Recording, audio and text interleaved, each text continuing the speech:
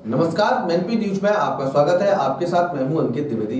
कस्बा गिरोल के भारोल गाँव में महादेवी इंस्टीट्यूट सिद्ध बाबा आश्रम में दो दिवसीय वार्षिक खेलकूद प्रतियोगिता का आयोजन किया गया, जिसका उद्घाटन मुख्य अतिथि doctor Vinod Kumar Sharma, professor RVS college Agra ने फीता काट कर दिया।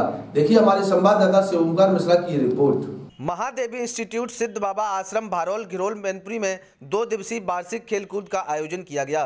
कार्यक्रम का शुभारंभ doctor Vinod Kumar Sharma, professor RBS college Agra ने फीता काटकर किया।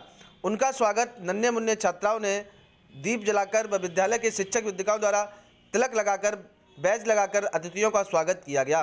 कार्यक्रम में 100 मीटर दौड़, लेमन रेस बाधा, बैडमिंटन, कबड्डी खो खो जैसी आदि प्रतियोगिता कराई गईं। कार्यक्रम में मुख्य अतिथि के साथ mister Komal Singh, doctor MP Singh, Anoop Kumar आदि लोग मौजूद रहे। Bureau report, Mainpuri.